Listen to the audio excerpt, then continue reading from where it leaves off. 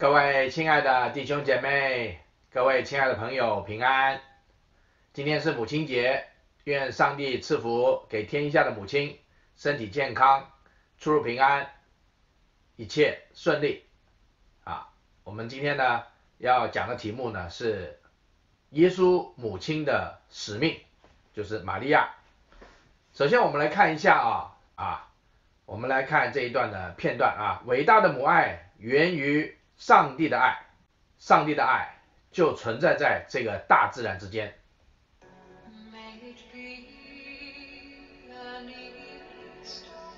好，我们看到呢，这个小鹿要过河，呃，这个时候呢，好可怕，有鳄鱼要来，要吃它了。这时候妈妈看到了，哎呀，赶快来救这个小鹿啊！怎么来救它呢？就是让这个鳄鱼呢。把它自己吃掉了，哎呀，那么这样子呢，他的小鹿呢就有时间呢啊逃到这个岸上去。我们看到这个是实在是很感人的一个片段啊，母爱的伟大，母鹿把自己的身体牺牲了，就为了呢让他的孩子小鹿呢能够过河。今天我们看到天下的母亲也都是这样的一个心愿。情愿牺牲自己，也要把他的孩子们呢抚养长大，而且最重要是避开一切的危险，能够顺利的过河啊，情愿自己牺牲啊，也要让下一代自己的儿女呢能够成功，能够度过一切的难关，避开一切的危险。好，我们来看呢啊，耶稣的母亲玛利亚，她承担了。更伟大的使命，因为他所怀的孩子是上帝的独生子，这个独生子要承担人类的罪，要成就上帝的救恩，这是这么伟大的一个使命。大家想一想，玛利亚身为上帝独生子的啊母亲啊，她所承担的这个重担。是非常的大，压力也是非常的大的。呃，这里呢有一个图啊，这个图呢是我在以色列啊耶路撒冷呢啊那里呢有一个啊圣母啊，就是玛丽玛利亚的一个坟墓啊，一个一个教堂。这个圣母堂里面呢，就是啊玛利亚就埋葬在这个地方。那在这里呢还有一个啊雕刻像在这里。重要的地方是在哪里呢？啊，很多游客到这里呢，只是看了这个坟墓，但是却没有留意呢，它旁边的墙上的这幅画，那这幅画就非常重要了。啊，在这里呢，啊，大家没有机会去到耶路撒冷的话，那么我就把耶路撒冷所看见的啊，所照下来的照片呢，那和大家分享。那大家注意呢，这幅画上面呢。啊，这个坟墓啊，躺着的是玛利亚啊，在里面呢，这是个雕刻像了。那么在这个画上呢，反映出呢，这个玛利亚是耶稣的母亲啊，死了，安息了。但是呢，我们看到旁边呢，这是耶稣，就他的儿子耶稣。我们一般呢，在呃教堂会看见呢，呃耶稣的雕像啊，也会看见呢玛利亚的雕像。往往是呢，圣母玛利亚呢是抱着一个婴儿，对不对啊？那那个婴儿我们一看就知道一定是耶稣啊，那个女的一定是玛利亚。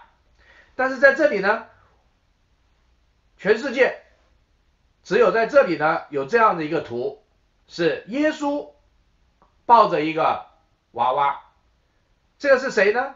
是他的母亲玛利亚，哈哈，这非常独特了。这幅图让我们看见了，耶稣是上帝的儿子。虽然在地上，母亲玛利亚是耶稣的母亲，耶稣是上帝的独生子，在这地上又是人的儿子啊，人子啊，是玛利亚的儿子。但是在天上，玛利亚却是神的女儿。神的孩子啊，在耶稣的怀抱之中，在啊，在耶稣的怀抱之中啊，可见呢，耶稣在地上是人子，但是在天上呢，就是父神了啊，是神的独生子，到了天上呢是神啊，那么在天上呢？耶稣，他就是三位一体的第二位圣子，但却又是呢创造主。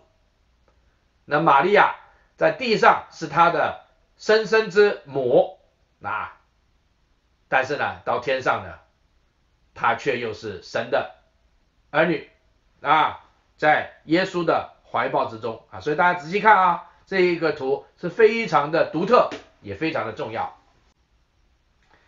好，我们现在呢啊有七方面呢来和大家分享呢耶稣母亲的使命啊，其实呢每一点呢都可以成为啊一篇啊讲道啊，我曾经也在啊教会呢讲过这七篇了。那么今天呢我们很简单的啊从新约圣经里面我们来看耶稣母亲的玛利亚啊这个使命是什么？第一点呢，玛利亚她承受了未婚怀孕的羞辱啊，这不容易啊。圣经说，基督啊，耶稣基督降生的事实在下面。他母亲玛利亚已经许配了约瑟，还没有迎娶，玛利亚就从圣灵怀了孕。她丈夫的啊，她丈夫约瑟是个异人，不愿意明明的羞辱她，想要暗暗的把她休了。正思念这事的时候，有主的使者向他梦中显现，说：大卫的子孙，大卫的子孙约瑟，不要怕，只管娶过你的妻子玛利亚来。因他所怀的孕是从圣灵来的，他将要生一个儿子，你要给他起名叫耶稣，因他要将自己的百姓从罪恶里救出来。约瑟醒了，起来，就遵着主的呃主使者的吩咐，把妻子娶过来，只是没有和他同房。等他生了儿子，就给他起名叫耶稣。啊，玛利亚借着圣灵感孕。怀孕生子是在她还没有结婚之前啊，她已经许配了给她的未婚夫约瑟，但是还没有迎娶。就在这样的情况之下，上帝呢啊拣选她，让她呢怀孕生下上帝独生儿子耶稣基督，来证明呢她所怀的这个婴儿是直接从上帝那里来。不是借着人的啊血气，没有人的遗传，完全是道成了肉身，神的话，神的智慧，然后再加上神的大能，借着圣灵产生的这个啊胎儿，这是一个神机啊，一个童贞女没有经过啊结婚啊，她就怀孕了，所以呢，呃这样子的一个经历，对于她来讲呢。在当时的中东呢，一个少女未婚就怀了孕的话，这是很糟糕的一件事情，因为一般的人都会认为呢，她一定是呢啊跟别的男人呢啊不轨私生子啊，严重的这是要要拿石头打死的，这是可能是淫乱啊，所以呃。约瑟，他知道这个事情，他呢就很难过，他就很烦恼，怎么怀孕了呢？是不是有有第三者出现呢？所以他，但是他又不想明明的羞辱他，他想把他休了啊，因为他认为，你看这个这个啊未婚妻，我还没迎娶她，她已经怀孕了，你看，这真糟糕了，把她休了啊，就就说我我不要再娶她了。你想想看，玛利亚她怀孕，她凭着信心接受了这样这么大的一个使命，她要承受众人对她的羞辱。最重要的就是约瑟，约瑟都想暗暗的把他休了啊，所以呢，感谢神，神呢啊在梦中向约瑟显现，警告他，安慰他。告诉他啊，不要怕，你只管呢娶过你的妻子玛利亚来啊，因为呢，他所怀的不是从淫乱来的，不是从第三者来的，是从圣灵而来，是神来的，是神圣的，是神的旨意，神的拣选，让他生一个儿子，起名叫耶稣，因为呢，这是一个救世主要来到，要把自己的百姓从罪恶里面救出来。那结果我们看到啊，约瑟是一个艺人，他的确呢顺从神的吩咐，在这个梦当中，他知道了神的旨意，他就遵照主的使者的吩咐，把呃妻子呢娶过来，啊，没有跟他同房啊，然后呢让他生下了这个耶稣，这就是啊玛利亚她要承担的第一个使命啊，不简单，要很。啊，很有信心的忍耐来接受这个未婚怀孕的羞辱，这是第一点。第二点呢，就是玛利亚踏上了回乡生产的旅程。发生什么事呢？当她怀孕要生产的时候，当时呢，当那些日子，凯撒奥古斯都有旨意下来，叫天下人民都报名上册。这是居里柳做叙利亚巡抚的时候。头一次行报名上册的事，众人各归各城报名上册。约瑟也从加利利的拿撒勒城上犹太去，到了大卫的城，名叫伯利恒，因他本是大卫一族一家的人，要和他所聘之妻玛利亚一同报名上册。那时玛利亚的身孕已经重了，他们在那里的时候，以玛利亚的产期到了，就生了头胎的儿子，用布包起来，啊，在放在马槽里。因为客店里没有地方啊，我们又看到呢，玛利亚的第二个使命就是要平平安安的、顺顺利利的把神的儿子独生子耶稣基督降生下来，生下来。那么正要在临产的时候发生一件事，就是当时的罗马皇帝有旨意下令了，天下的人民都要报名上册。就是人口登记啊，户口调查呀，啊，啊这个很麻烦了。为什么？因为约瑟他是大卫的子孙，那么大卫的子孙，大卫呢生在伯利恒，啊，那么这件事情的发生，就是要证明耶稣他是大卫的子孙，是大卫王的这个血统，所以神容许这个事情发生，就是要再一次的证明耶稣。他是从大卫的这个啊后裔，是王的后裔，要应验旧约圣经神对犹太人的应许，神对大卫的应许啊，神的拣选，所以呢，要在玛利亚生孩子之前要发生这样的事情，报名上册。但是对于玛利亚来讲，这是很大的挑战，因为一个怀孕的孕妇。啊，最好是什么啊？平平安安的等着生产待产啊啊啊！我妻子啊要怀孕的时候，我就把她啊安排在这个医院的附近，哈哈。那么随时要生的话，那到到医院就很近了，很方便很快啊啊，免得呢到时候了，哎呀，呃要临产的时候叫车车车不来。啊，叫人人不来，啊，去医院要好远，啊，就糟糕了啊。那所以呢，我们一般来讲，一个孕妇要怀胎、要生孩子、要临产呢，我们当然是希望怎么样，平平安安、顺顺利利，最好不要旅行、舟居劳动啊。但是因为这个皇帝有旨意下来呢，要报名上册，那么玛利亚呢，她。又住在拿撒勒啊，跟着约瑟他们都是住在拿撒勒。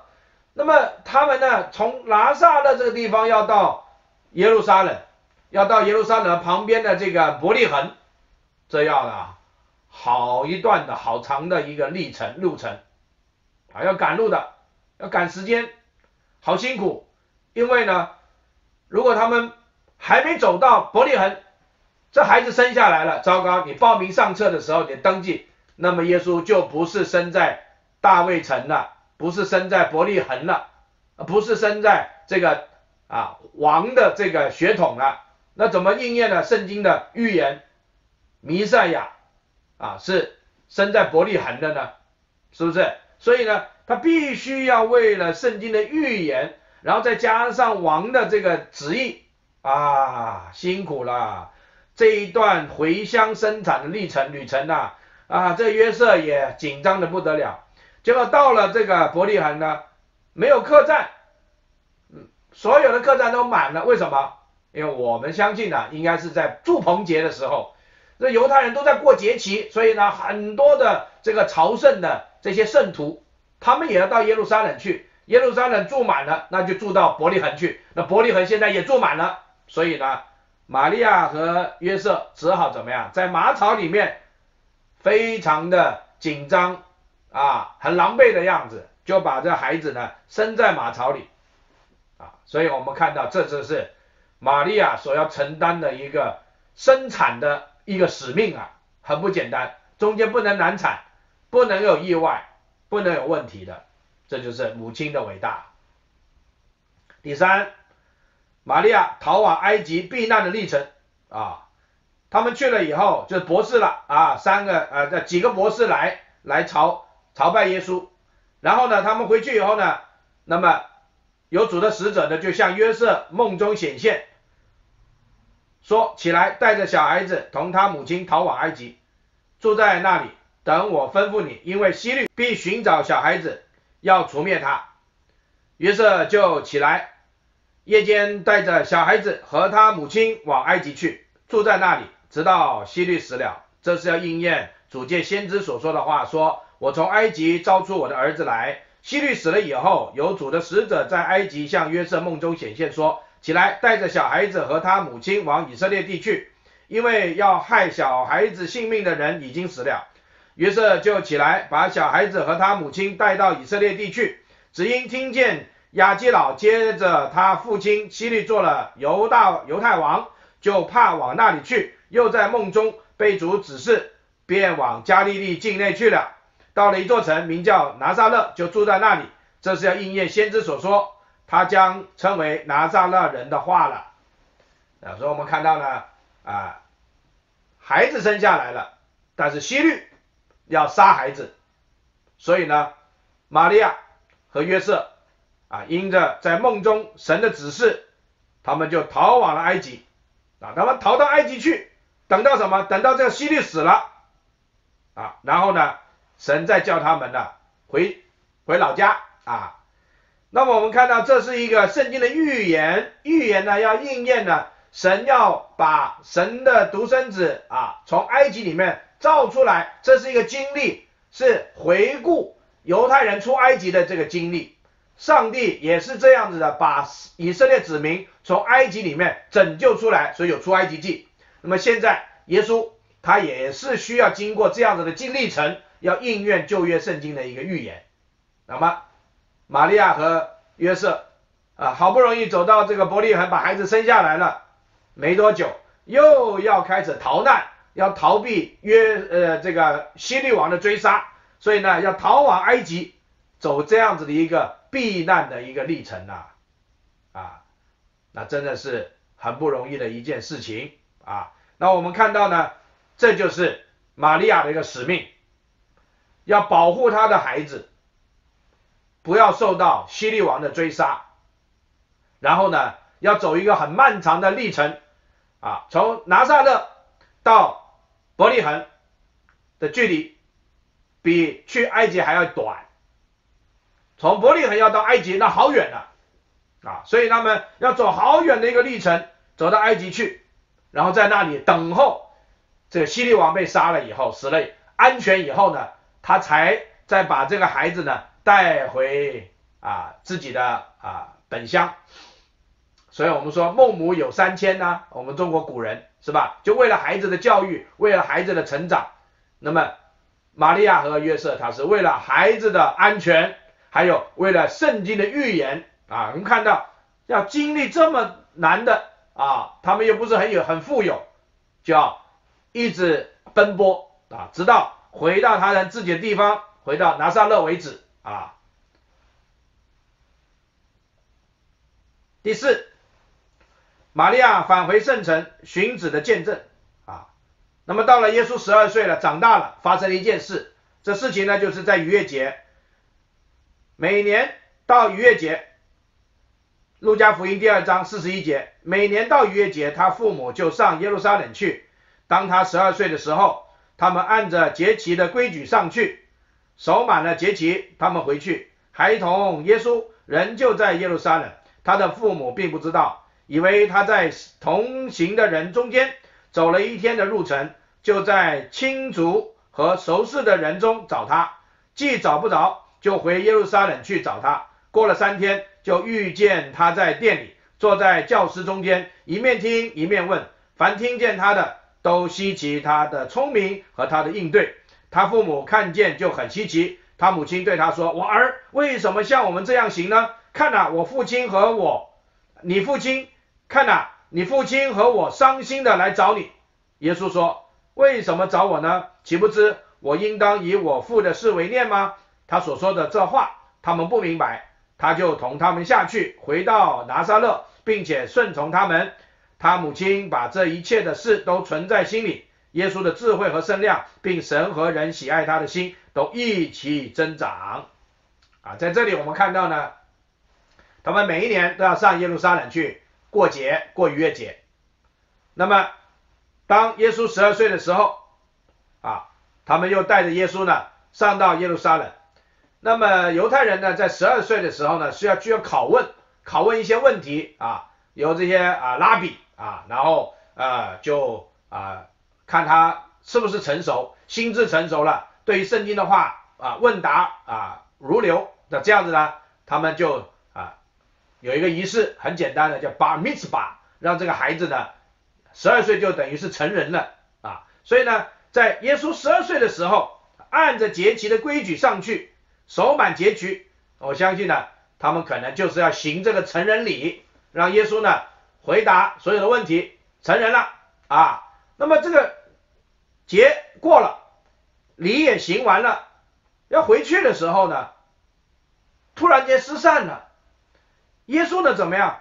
他并没有跟着父母走，他还留在耶路撒冷，在哪里呢？在圣殿里啊。那么这父母呢就非常的紧张了，以为呢耶稣呢在同行人的当中呢。所以呢，就很着急了啊，就在亲族和熟识人中间去找，都找不到啊。最后呢，啊，回到耶路撒冷呢，在啊走了一天的路程呢，那好长的时间呢，啊，到第三天呢，才在圣殿里面呢找到耶稣啊。所以在这三天啊，这个也是一个预表，是对于玛利亚来讲，她的孩子失去了啊，第三天找到了。啊，这代表什么？失而复得，就是预表了耶稣死了，第三天从死里复活了啊！所以玛利亚是最早经历到耶稣失去又得到的这个经历啊，这个是很不容易。做母亲就知道孩子走丢了啊，而且他不小了，十二岁了啊，所以呢，这十二岁的时候啊，这个父母父母亲啊，父母啊，非常的着急，结果呢？第三天以后，发现耶稣在圣殿里头跟那一些的教师拉比啊，在那里应对啊，而且呢，他们都稀奇的啊，耶稣的聪明和应对。那么耶稣啊，在那里啊是要追求啊，是要啊对跟大人有一些啊信仰上问题的一个探讨。那玛利亚就问耶稣了，为什么这样？像我们这样行，你为什么要这样做呢？啊，我们真的是伤心的来找你。但耶稣讲的话很特别，他说呢，岂不知我应当以我父的事为念？啊，耶稣讲这个我父，这个父呢，就是指天上的父了啊，不只是指这个啊，你父亲的这个约瑟了，他是神的儿子独生子，神的独生子，神呢是他的天父了，在天上的父亲了，他是。他是圣圣子啊，他圣父的事情啊，是什么事情？是圣殿里面的事情，所以他等于是代表着圣父来来询问这个圣殿里面的这些祭司啊，这些拉比啊，啊，想要了解一下圣殿的情况，了解一些犹太人他们属灵的情况啊。十二岁啊，耶稣只有十二岁，他就已经呢以父的事为念了，怪不得玛利亚和约瑟。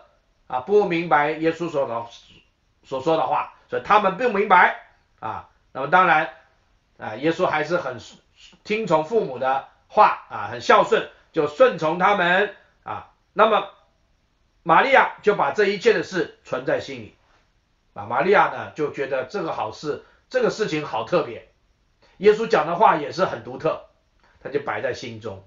所以这个寻找孩子的这个是一个见证，看到了原来他所生下的这个独生子耶稣基督，他有他的使命，他要遵从天父的使命，所以玛利亚他也要怎么样？也要顺从天父的旨意来呢，让这个孩子长大，智慧和身量都能够成长，让神和人都喜爱他。那这是玛利亚一个。很伟大的一个使命啊，要把耶稣抚养长大成人。好了，到了耶稣长大了，出来传道了。第五，玛利亚要求耶稣变酒的神迹，哈哈。那有一天啊，这里约翰福音记载第三天啊，第二章约翰福音第二章的第一节啊，第三天。在加利利的迦拿有娶亲的筵席，耶稣的母亲在那里，耶稣和他们门徒也被请去赴席。酒用尽了，耶稣的母亲对他说：“他们没有酒了。”耶稣说：“母亲，我与你有什么相干？我的时候还没有到。”他母亲用啊对佣人说：“他告诉你们什么，你们就做什么。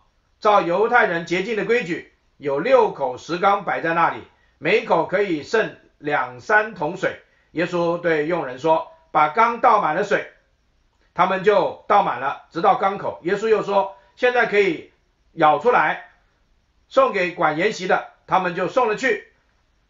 管筵席的尝了那水变的酒，并不知道是哪里来的，只有舀水的佣人知道。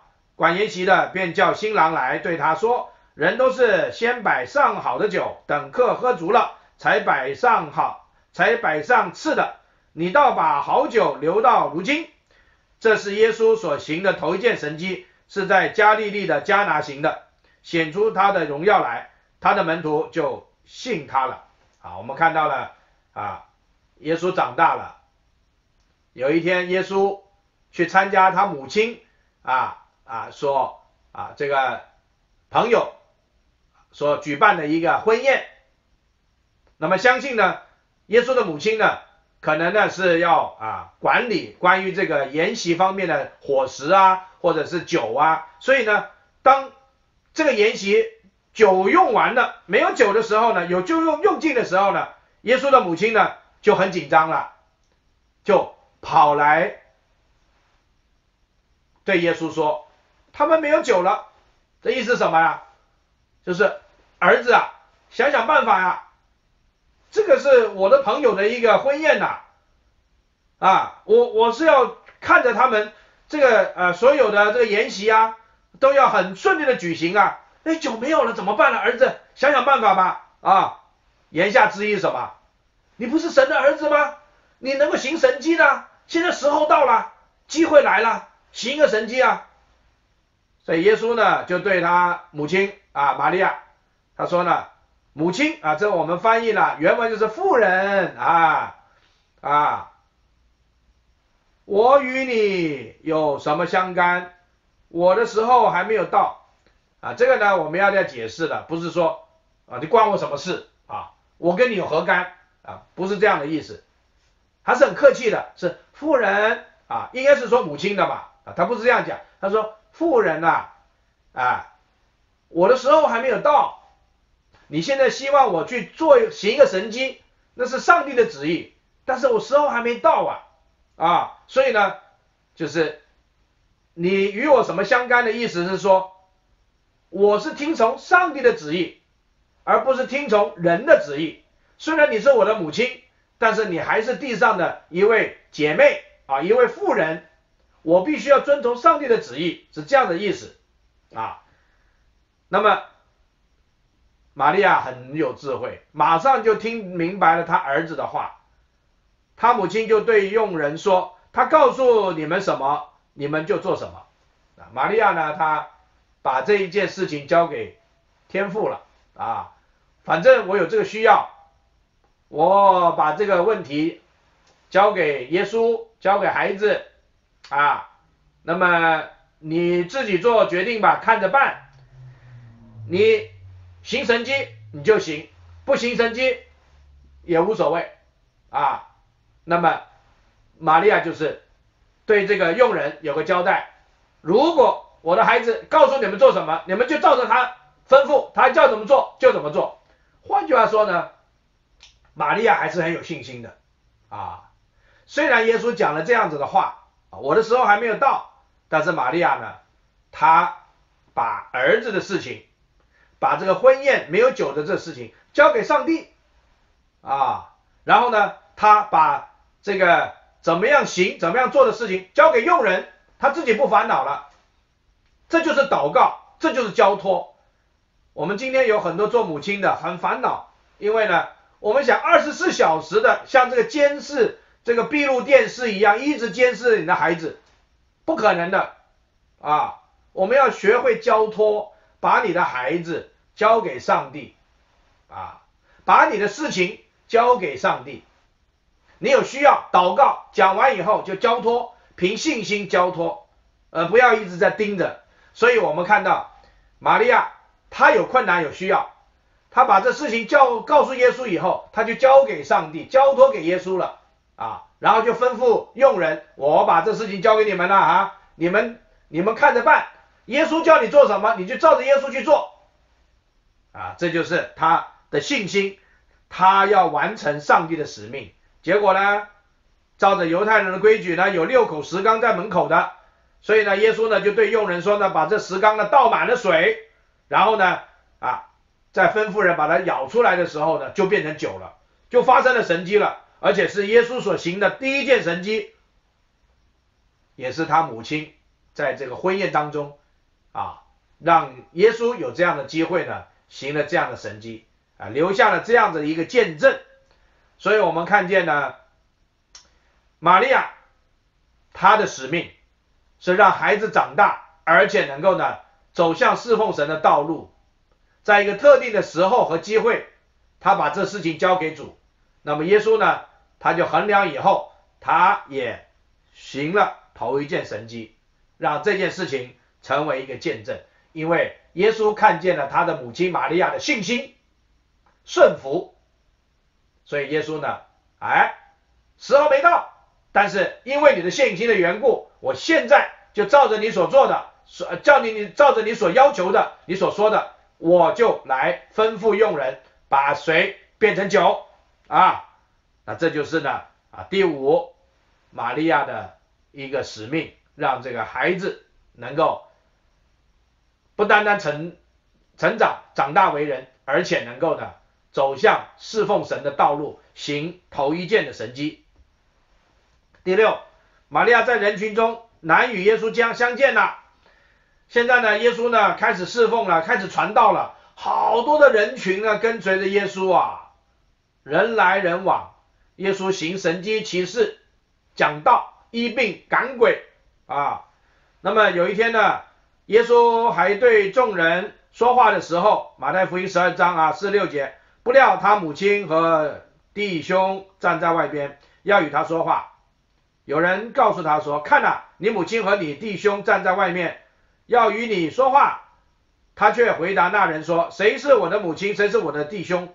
就伸手指着门徒说：“看呐，我的母亲，我的弟兄。”凡遵行我天父旨意的人，就是我的弟兄姐妹和母亲了。好，那这一段呢，告诉我们了，耶稣出来传道，好多的群众呢跟随着耶稣。那么耶稣在讲道的时候呢，就玛利亚带着他的弟弟，耶稣的弟弟啊，来找耶稣，要与他说话，一定是有一些重要的事情。否则呢，玛利亚呢，她不会的啊，随便的呢啊，就来呀阻断了耶稣的讲道，对不对？耶稣呢，每天非常忙碌的在侍奉，在医病赶鬼，在传道，一大堆的群众呢，周围围绕着他的，所以呢，如果没有重要的事情，玛利亚是不会来找耶稣的啊。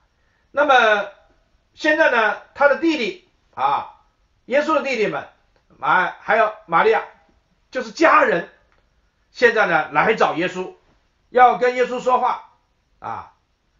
那么耶稣呢，听到有人说你的母亲啊，还有你的弟弟呢都来了，但是耶稣却说什么？谁是我的母亲？谁是我的弟兄？好像好奇怪，难道说耶稣不认他们吗？不是这样的意思。耶稣是机会教育啊，借着这个机会，哎，来又一个信息出来了。什么信息呢？就是谁是我的弟兄？谁是我的啊母亲啊？看呐，我的母亲，我的弟兄。他耶稣就指着周围的人：“你是我的弟兄，你是我的母亲。”凡遵行我天父旨意的，就是我的弟兄、我的姐妹、我的母亲了。耶稣意思是什么？虽然我的母亲、我的弟弟来找我，我在地上有个家庭、家人，但是在天上我是听从天父旨意的。那么你们如果遵行天父旨意的话，你们就是我的弟兄，就是我的姐妹，就是我的母亲。换句话说呢？凡是遵行天父旨意的，都是神的儿女；凡是神的儿女的，我们就是兄弟姐妹了。所以，耶稣把一个教会的观念呢带出来了。耶稣虽然有自己亲一个亲生的母亲玛利亚在那里，还有弟弟，对不对？但是呢，耶稣借着这个机会也告诉大家呢，我是神的儿子。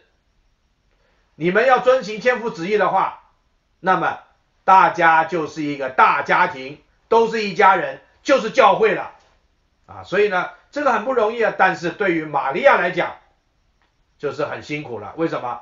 他要寻找他的儿子，有事情找他啊，不是重要的事情不会这样来找他的，是有重要事情。但是耶稣被群众在人群当中，群众的围着耶稣，耶稣正在讲道，所以耶稣要啊，玛利亚要跟他的孩儿子耶稣要相见，要讲个话都不容易啊。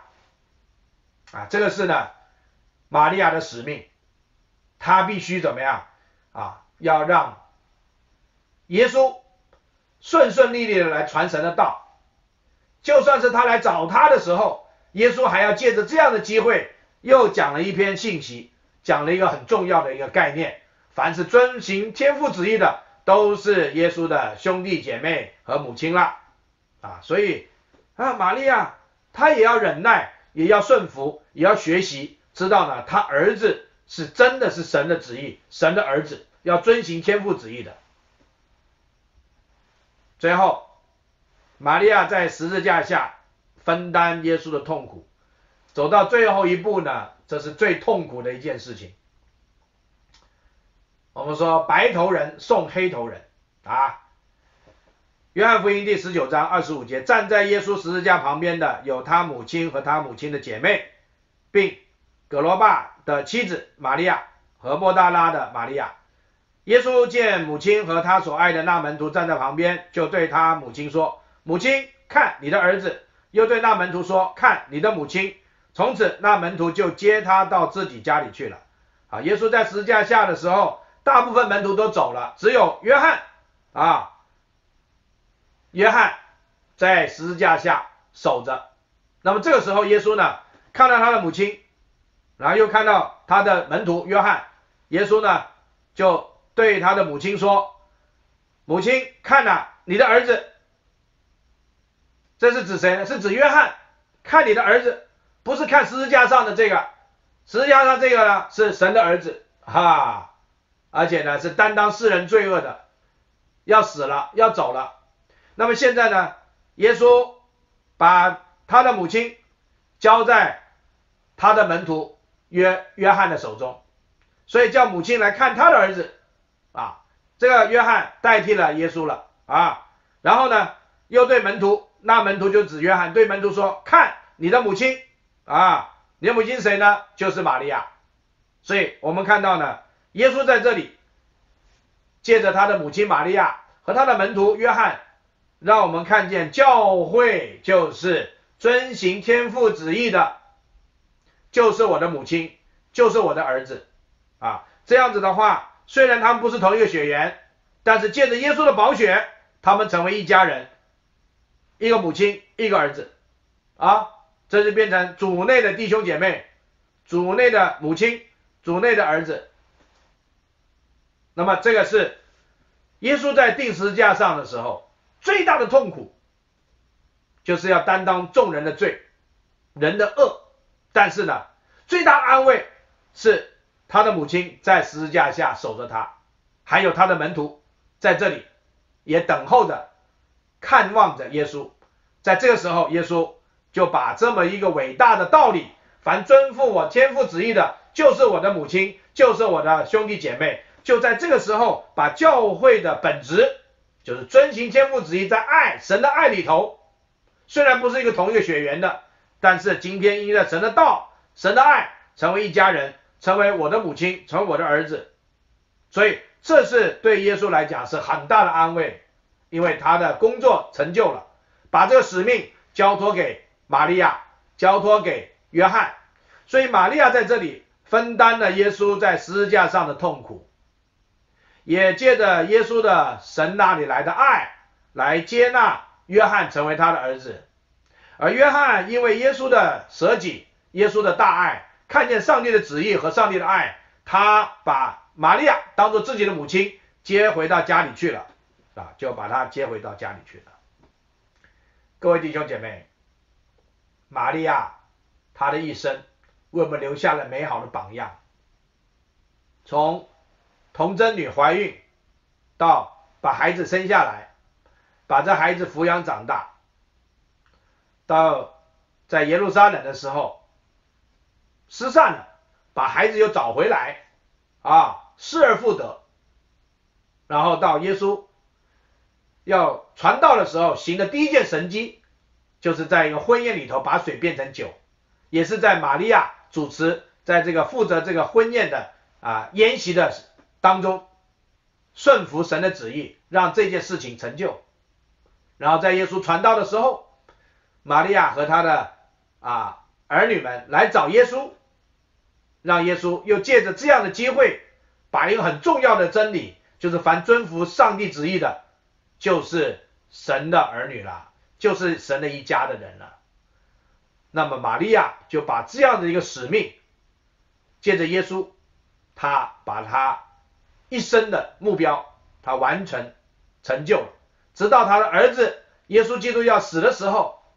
在这件事情上，他也是顺服在神的旨意当中，把约翰接到他的家里，接到啊，把约翰接纳成为他的儿子，然后约翰呢就把玛利亚呢接到他家里去来供养他。